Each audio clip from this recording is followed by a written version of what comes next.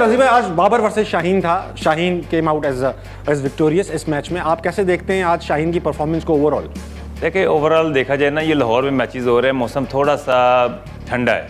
हाँ। और पिच काफ़ी फर्म बना हुआ है और मूवमेंट रही है। नए बॉल को हेल्प मिली है। अब उनको लाहौर के अंदर के बॉलर को मिली है और उनको भी दूसरी टीम को मिली है। तो शाहीन ने जिस तरह बॉलिंग की है और स्टैंडिंग की है और ये पिच इतना अच्छा लग रहा था जैसे कि ऑस्ट्रेलिया में मैच हो रहा है। हाँ, हाँ। क्योंकि बॉल ये आपकी तरफ़ आ रहा था। इवन के बॉल हेलमेट को भी हिट कर रहा था। हाँ।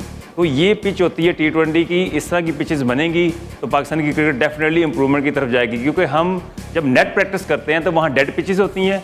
तो जब मैच में आते हैं जब हम ऑस्ट्रेलिया या साउथ अफ्रीका या इंग्लैंड या न्यूजीलैंड जाते हैं वहाँ पे डिफरेंट पिचेस होती हैं।